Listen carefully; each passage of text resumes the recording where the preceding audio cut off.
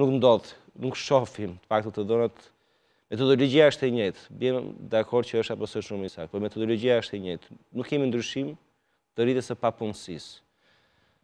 Po ka një vështirësi të madhe që disa shtresa që janë në, në nevojë, sidomos shtresat më vulnerabël me të ardhura fikse të, të ulta. Mirë, rritja e çmimeve që ato, prish balancën midis të ardhurave dhe shpenzimeve, po. nuk është element i krizës? S'do thoja. Pra, Përveç shtresave, të po them, që i kanë të ardhurat e ulëta dhe rritja e çmimeve i ndikon direkt në ulje të fuqisë blerëse dhe në varfëri. Pra pa dyshim që kjo është kriza e çmimeve që ka prekur një shtresë të caktuar të të shoqërisë. Po, kriza e çmimeve nuk përkthehet në krizë të ekonomisë së familjeve në fund fundit?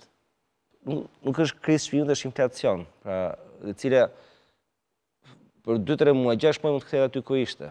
Unë do thoja fjala krizë, pak për ekonomist, nga që më thatë fol si ekonomist, por jo, do ta mbaj aty. Jo, jo. Po kriza që mund të flasim që po, çmimet janë rritur, njerëzit e ndjejnë, është ndikon negativisht disa familje patjetër. Po jo vetëm në Shqipëri, me një fjalë nuk është se është atë po mundohem të thoja, që është një fenomen që është i importuar. Dhe në këto raste maksimumi që bëhet është disa shtete, përfshirë dhe Shqipërinë, kanë vendosur t'i japin para herë pas here.